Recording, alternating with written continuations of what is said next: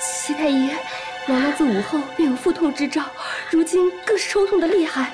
这龙胎，齐太医，龙胎有危险。已经用过针灸了，可胎儿依旧有下滑之象，怕是生产在即。能保的足以儿生是臣的无能。这龙胎只有八个月大呀！此刻不是责怪谁的时候。齐太医，你便告诉本宫开刀如何？娘娘请请安心。既然龙胎想要落地，臣当力保龙胎平安降生。有你这句话，本宫就安心了。啊，莲心，快去请接生姥姥。娘娘，接生姥姥正在偏殿候着呢，马上就到。娘娘，你先别急，臣妾可去准备。啊，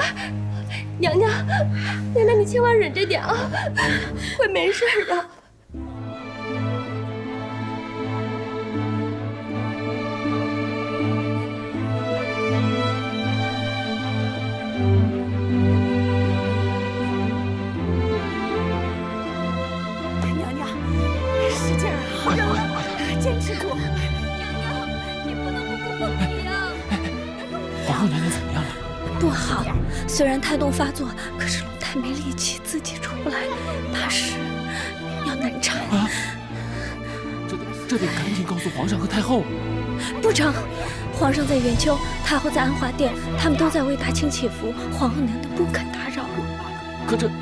皇娘，公主，皇公主，您怎么来了？我知道皇额娘在生弟弟，我得去看一下她。产房血腥，您去不得。你别拦着我，皇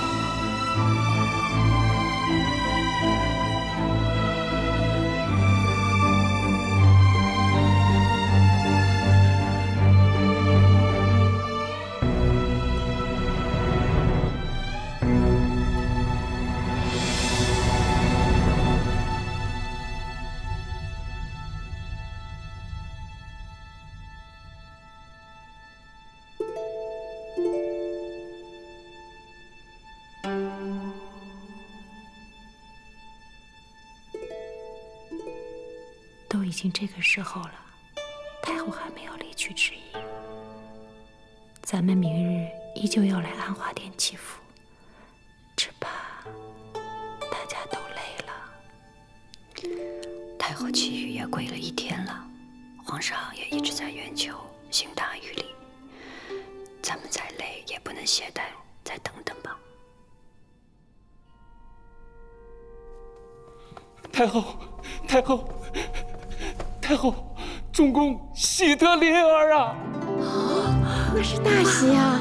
真的是皇子。是。皇后娘娘不是只有八个月的身孕吗？怎么这会儿就生了？一个时辰前，娘娘胎动发作，太医说只能催生，虽然有些难产，但是万幸，皇子终于生下来了。皇帝知道了没有？皇上知道了。佛祖庇佑，中宫喜得嫡子。哀家赶紧去看看太后。您去也无妨，只是各公主都累了一整天了。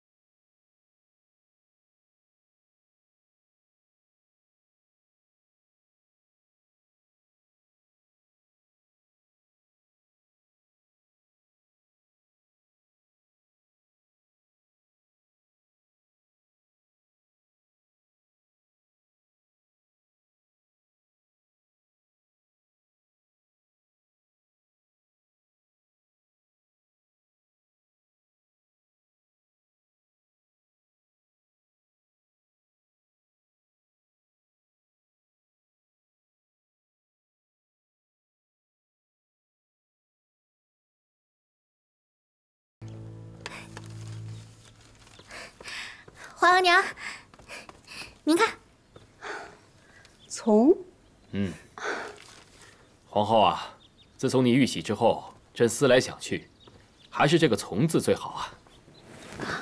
皇上，这“从”字何解啊？这七阿哥是朕的唯一嫡子，“从”呢是为继帝的礼器，又有继承宗业之意，里面有许多朕的期许。臣妾谢皇上赐名永从。皇后免礼。臣妾谢过皇上。皇阿玛，您都不知道，皇额娘生产那日疼得怕人，可她只顾弟弟，一点都不顾自己。皇后，你怎么那么痴啊？只保着孩子，也不顾自己。臣妾只要能为大清产下嫡子，哪怕要臣妾即刻去了，我也死而无憾。